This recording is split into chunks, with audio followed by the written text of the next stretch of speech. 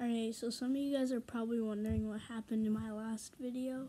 So basically, what happened is I threw it, and since I'm at my grandma's, um, I threw it, and it went kind of far, and then it, it literally, I spun, like, like I was some boss from a bass, boss battle.